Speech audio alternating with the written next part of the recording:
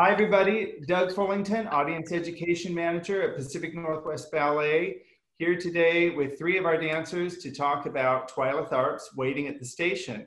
I'm really happy to welcome Sarah Pasch, Angelica Generosa, and Elle Macy. Thank you guys for taking time to talk today. Yay! So all three of you uh, were in the premiere of Waiting at the Station when Twyla made it for the company in 2013. And I know there are a lot of memories and uh, a lot of great experiences working with Twyla. And that's what I want to talk about and reminisce about today.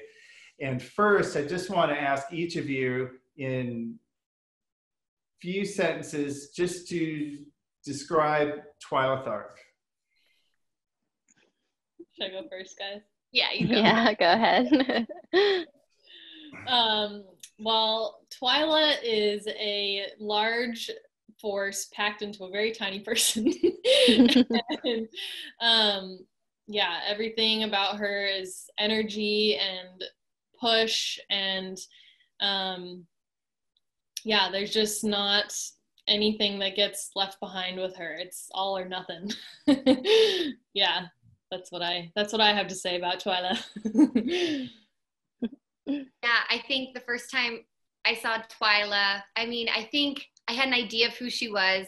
Um, Sarah and I have talked about we saw Movin' Out, and so I knew who this woman was. I knew the work she created, and then through watching PNB's, you know, repertoire, we've kind of seen some things. But working with her was entirely different. She was this tiny, tiny woman with this like spiky white hair and these big glasses and this oversized sweatshirt and like these tiny little legs. And so you just like she almost looks like a cartoon when she walks through the door and she's larger than life and she asked just as much of us as she asked herself every day. And so it was just kind of you knew that she was putting in the work and so you wanted to try to match her with that energy. And I think at the time we were all really young and all really eager and we did everything she asked of us and mm-hmm. Then some, you know, just more than I think we knew was possible of ourselves, which was very cool.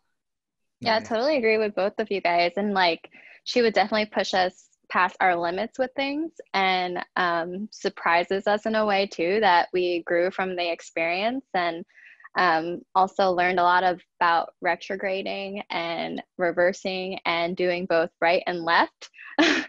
so um, yeah, she's like what both, both said, huge force to work with, and it's been really fun. Yeah, yeah, I can even uh, agree with all those things too. From working with Twyla up here in the office, she'd come in in the morning first thing. "Doug, we've got work to do, and was lots of preparation. Always had a plan, and it was always about the work. There was not small talk. It was about the work, no matter uh, what was going on or what time of day, beginning of the day or the end. She's all business. Yeah, really, very focused. Mm-hmm. So in the studio, um, want to talk about what the process was like, and that could be either at the beginning of the process or even the beginning of the rehearsal day. Just kind of wondering how she worked with you in the studio. Yeah, I mean, I think it's like like we all said in our descriptions of her. We got in the studio and there was no time wasted. It was right to it, and you were working from the very top of the minute till the end, and we were doing things over and over and over and over and over again, and um, like constantly building on whatever she started with. And yeah, it was there was no downtime. It was like, okay, we're gonna do it again. Okay, do it again. Okay, like there and like Elle said earlier, we're all just like young and eager and we just did it. I mean, yeah, what do you guys have to say about that? But also just remember she would she went with all of her energy and she would show something. And then it was up to you to interpret what she was showing. Because you know she, she's older and she'd be like okay something like this. And then you were like okay. And you know we were trying to use both ballet vocabulary which she wanted us to and but it was a little bit of freedom. It was more collaboration that way where Yeah. i think if i was working with her now i'd feel a little bit more confident with my own voice but at the time i was kind of like oh my gosh what if i don't do it right but i don't know that there was a right you know in the end i think it was what you imagined in your body was what she wanted to see and then she could mold it Yeah, Yeah. she definitely feeding off of us. Off for of- yeah. Yeah. Well, also with like um, for the part that I had to do with partnering, um, we like at sometimes like she would be like Angelica, why won't you? Actually, she called me Angie, but Angie, why don't you kind like lift me and like try to drag me across, and Steven do the same, and it made me realize that oh, this is what the guy has to do, so I have to kind of make it work for the woman as well. So um, that was interesting to partner Twyla. Wow. Okay. So she she would show, but then she would want you to take it from there, and then she would watch what you did, and then she'd yeah. Ask for different things, and like this will work, or do Mhm. this here, and Yep. very collaborative. Mhm. That's Yep. cool. Mhm. Cool. So waiting at the station, I mean, as we sort of found out as it went along, it ended up there was a story. There's the father, and he has the son, and he's um, getting on in life, and he's being chased by three fates. Twyla calls them uh, formally, but we all called you the Golden Girls costumes, and uh, you were coming for him, right? There you are. There they are. So it was you, Sarah, and Elle, and Chelsea Adomaitis Yeah. that were Yeah. the three. The original. And so you were coming for him throughout, and uh, finally he sort of gives in and makes peace with you and allows you to take him.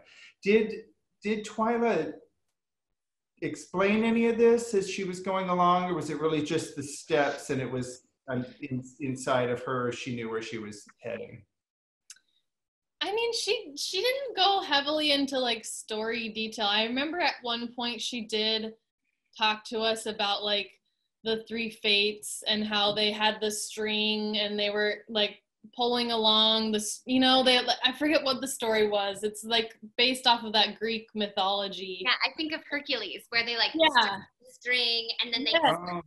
You know, yeah kind of, and she was telling us like that's what you guys are but it was like a very brief moment. She didn't like go into heavy detail about story. She just wanted us to know that like we're this force and he's you know we're trying to get him right. say it kind of playfully. We're not, you know, like, well, I guess one time we try to be spooky with him, and then other mm-hmm. times we try to like, you know, cat, hey, it's not so bad, come along, you know, kind of thing. And yeah, Yeah, had a positive had a positive vibe to it, really. yeah Yeah. Uh, yeah. So how about the the lift? So when you finally take him, there's the whole oh yeah the slow mo. So how did a whole that? story on did its that own. I think she wanted it to be like so, you know, like even Yeah. more than we were able to do. And she would come and be like, somebody get out of here. Let me go in. And she would Yep. lift she would us. just she pushed us all out of the way she was like get out of here she would just lift james We We would do all the weight, like all the heavy lifting. I was so shocked. yeah that was a really fun day Yeah. Yeah, very hands on. I mean, it turned out it's really beautiful because again, it's not like a big flashy lift. It's very slow motion, and all of a sudden he's there, and you're then all of a sudden we don't see anymore. He's gone. Mm-hmm. yeah yeah that was definitely one of those days where she like pushed us i was like okay we are lifting this man on stage and Yeah, we are strong women yeah. Yes. you guys also did like a lot of choreography too, leading up to all of that. Like it was We did. nonstop dancing for you guys too. So, yeah. A lot of really big jumps and stuff. mhm. yeah she called us our her big girls she just wanted us to always be like jumping and kicking and fla- flailing our legs everywhere she just we were the, the big girls I forgot Long legs. she called us the big girl. I Yeah. remember being like slight, moderately offended. I was like, the big girl. So, Angelica, you were part of the sort of community. This is set um, sort of 1940s New Orleans. Of course, it's the music of Allen Toussaint, who's Mhm. was a real jazz and R&B le- legend. And so you were one of the you were crossover couples. Is that Crossover couples, yeah, yeah. a name that she, I think that she borrowed from uh, in the upper room. Yeah. So- So, Yeah. I mean, originally when it was choreographed, we didn't really know what was going on because originally it was me and my partner, Steven Loch. and then Jahna Frantziskonis and um, Andrew Bartee.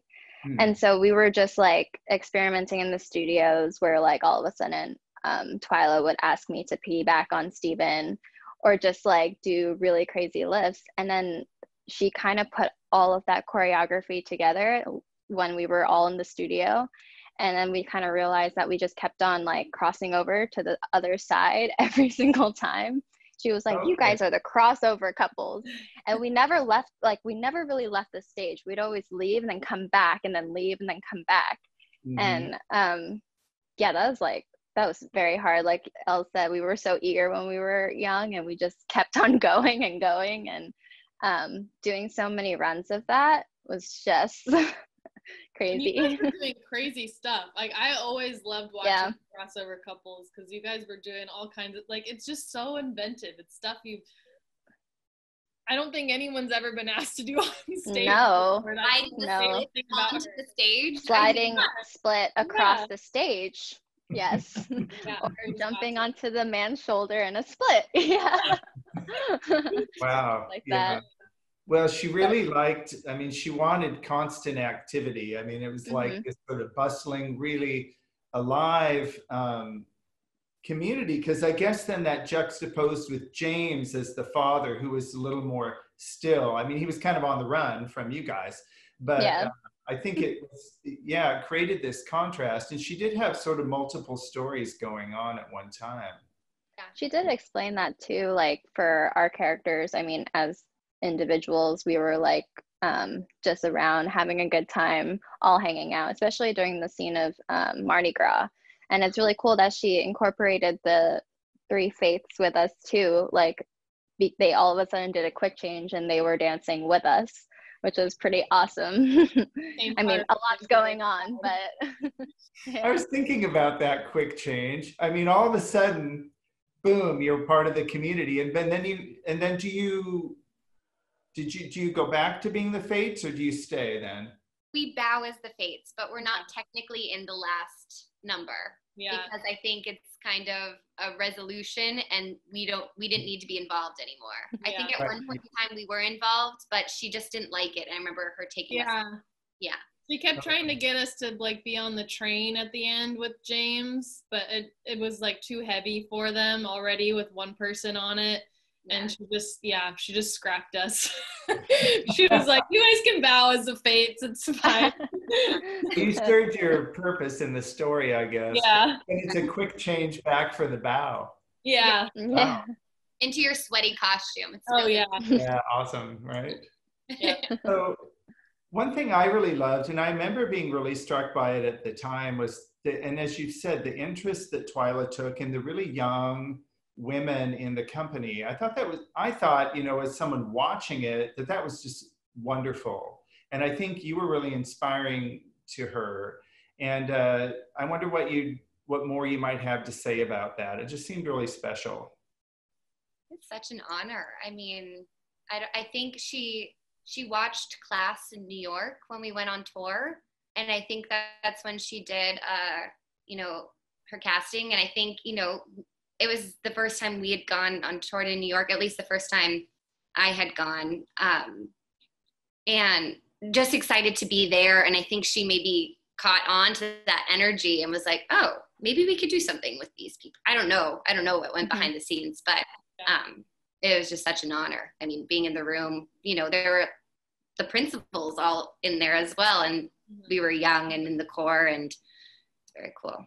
Yeah, Yeah. I, and I thought it was really cool too. 'cause Peter kind of made a big point to tell the three of us, and all. Mo- I mean, most of every everybody in the piece, but he he definitely made a point to tell us Golden Girls that Twyla like really wanted us and like had handpicked us and was really excited to work with us, and it Yeah. really was such an honor. I was just like, whoa, Twyla Tharp, like really, she picked me. Um, Yeah. So yeah, it was just a huge honor to work with her in that fashion. Yeah. Yeah, totally I agree.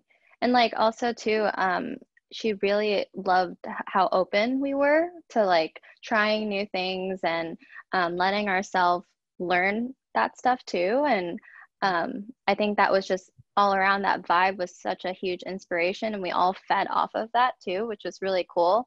um, especially if people are like starting to upcome into the company and starting different kind of works. I thought that was really nice to see as well. And she brought that out in all of us. So mm-hmm. I'm sure she did appreciate it because her whole career seems built on just uh, a fusion of a lot of dance styles. Mm-hmm. Um, think of the years, the 80s and the, at ABT and dances like Upper Room and Brief Fling, where some people are on point and other people are in character shoes or they're in tennis mm-hmm. shoes. She, she mm-hmm. just really likes bringing together all kinds of dance. Yeah. Mm-hmm. Yeah, and I know her dancers too. People who dance in her company came from all different backgrounds too. She had she had I I know one of her dancers left New York City Ballet to dance with her. Mm-hmm. You know, she just has all these different you know, she attracts people because people want to work with her and collaborate with her. It's a, it's this amazing collaboration. That's yeah. how she works. Mm-hmm. um, I think you... she a challenge that's inspiring as well. You know, mm-hmm. like she she wanted to work with young people and working with young people, you know, can be a risk sometimes because you don't know if you're going to be, you know, like it's exciting because you can get a lot out of them, but they're also newer on stage. And so you're kind of, you know, it's a, a leap of faith and yeah. we're lucky she took that on us, I think. Mm-hmm. mm-hmm. Yeah. Do you uh, do you each have a favorite moment you could single out in waiting at the station that's memorable or that you look forward to, or maybe you're glad when it's over, or? I have a favorite. um, she started doing this in the studio like up the last few days before we premiered, and we were running this ballet like three times a day and she when she had a personal note for you she wrote it down on a piece of paper and she ripped it off and she like threw it in your face and was like this is your note and keep that. And that was one of my favorite things ever. Funny. I remember that too. Mm-hmm.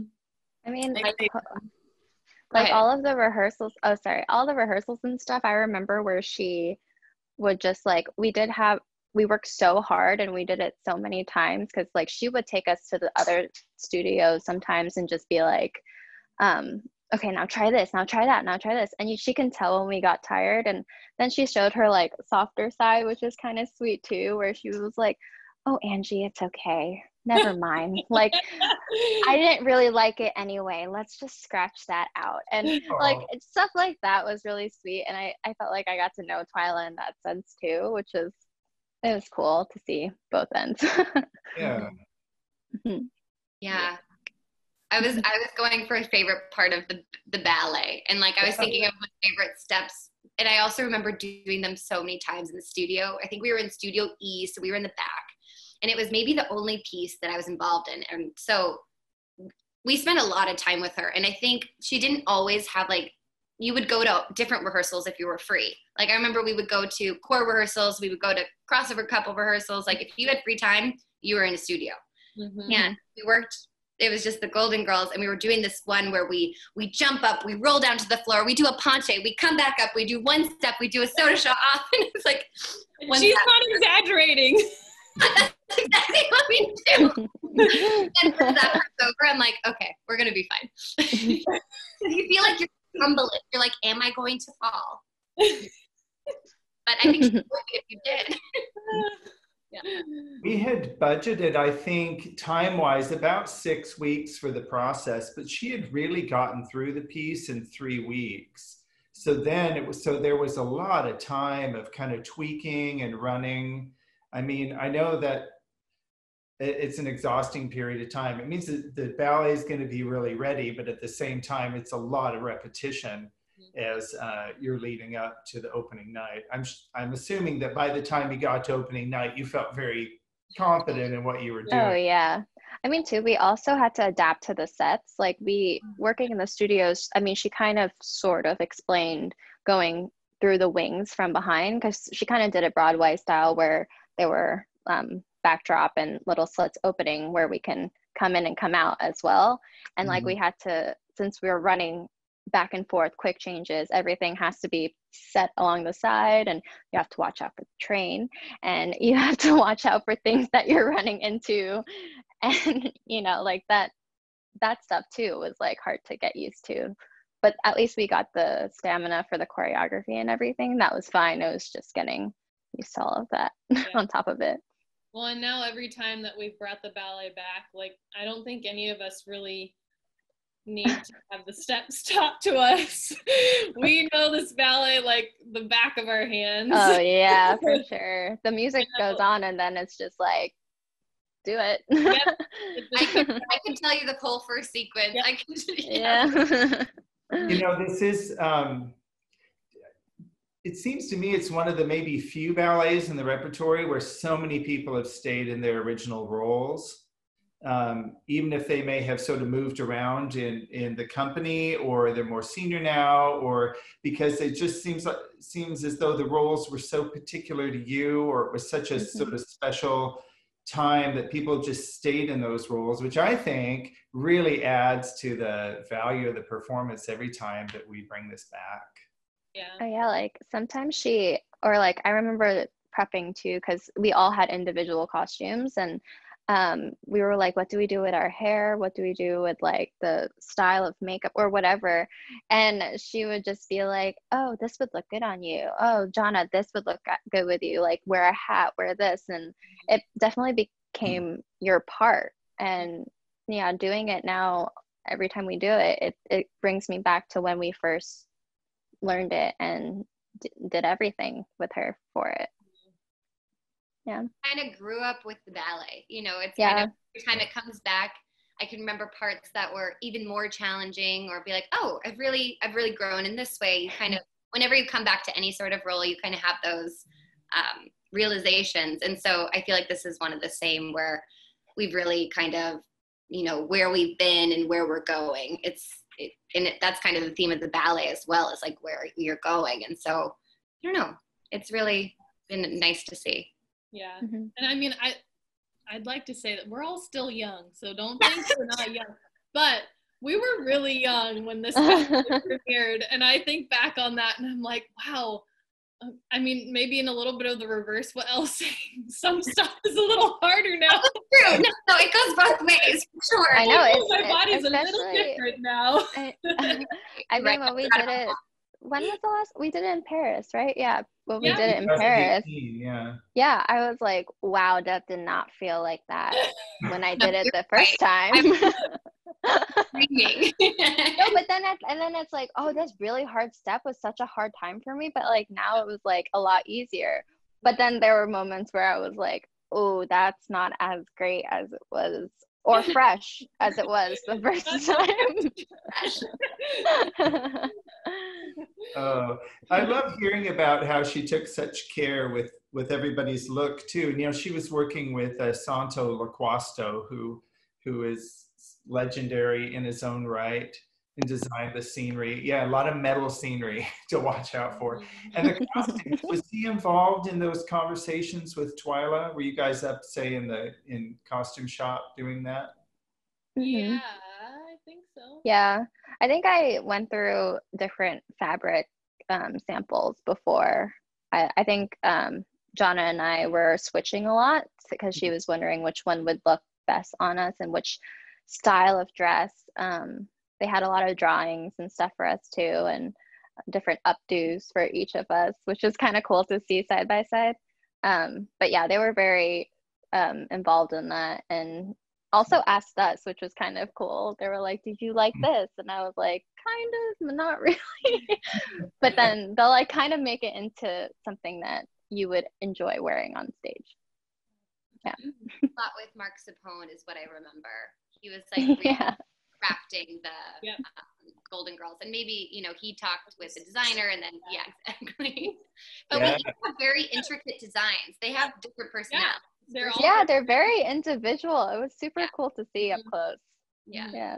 Yeah, I think once they've been they've been displayed in the in the hall in McCaw Hall before in the front, so people can see. Yeah, they're all they're all different. I mean, they make a great effect all together, but each one's very individual, and the hats and the vest and Mm-hmm. Yeah, and I know that some of the stuff wasn't wasn't all handmade. I know I think all the dresses were made, but then some of the uh, accessories for guys maybe came from um, like Goodwill or places where they went out and found some little pieces here and there to. Yeah, some vintage. Mm-hmm. Mm-hmm. Yeah, hats and all. So Yeah. there are a lot of pieces in this ballet. Yeah. Yes. So uh, yeah, we were, you know, supposed to be taking this on the road pretty soon, and we're not able to. But you know, we're able to to to show one of these archival performances, and it's it's from that very first season. So we're going is to see you guys sort Oh, of wow. working with Twyla, and Allen Toussaint is playing, and uh, Oh, that's great. I don't know how much interaction you had with him. I know watching him from the front as part of the picture, because you could see him, he was on a platform. I mean, it was really, it was really cool. I can tell you the effect. I don't think I've ever seen this ballet from the front. Yeah. I Neither haven't. We're always in it. yeah. Um, do you guys remember it was the same year we premiered the ballet. Allen Toussaint also performed, I think, at um the Pink Mhm. Door. Yeah. And then what's the other one downtown by Cafe Ladro? Yeah. I don't the triple remember. door. The triple door. Triple Triple door, Door, yeah. That's what I'm thinking. Yeah. Yeah. Yeah. Yeah, he performed there. Did you did any of you guys go see him? I went and don't saw him. think so. I Yeah. think I wasn't Oh, neat. Yeah. It was I think cool. I wasn't. well, he did play some of the songs from the piece as well, which was really uh, That's Um, Yeah, s- some of them have, uh, you know, some of them have words and can be sung, and uh, it's pretty cool. mhm. Yeah. Yeah. yeah. I remember Sarah Pasch would sing them. I didn't necessarily Yeah. know the songs to, or the words to the songs, but Sarah knew. Mother-in-law, mother-in-law. right? Grown to know them since because of Sarah. I really like the music. I love that combination of the jazz combo and then they're backed by the orchestra. It's very glam. Yeah. it was Mhm. Yeah. really good time. Well, I love hearing about all your uh, your great memories working with Twyla. I just think it, it seems like a really special time in the company. Peter had been acquiring her ballets since, you know, the first one was I think 2006 was nine Sinatra songs. So we had really developed a whole relationship with her for those years, and she had already made two works for us, uh, Afternoon Ball and Opus 111, and so Station was really the kind of culmination, I think, of this whole relationship. And uh, Yeah. Mhm. great. Wasn't she our artist in residence or something? Yeah, while she was making that- it. It was during this time, yeah, and I think it was um, that program. It had Sinatra, and then it had. Did Free it also Fling. have Brief Fling? First time with the live Yeah. music. Yeah, Oh yeah. Wow. that was Yeah. a very hard it rep. Yes. Right? Yeah. Air Twyla. Yeah. Yeah, Air Twyla. Yeah. An artist in residence. Artist It was in artist residence. Twyla. Twyla. yeah. All right, guys. Well, thank you so much for sharing with us, and uh, we look forward to seeing you in Waiting at the Station. We hope to see you before too long live in Waiting Station and on stage too. So uh, Yeah. thank you again. Everyone, take care. Thank you. Thanks, you. Doug. Thank you. Thanks, Doug.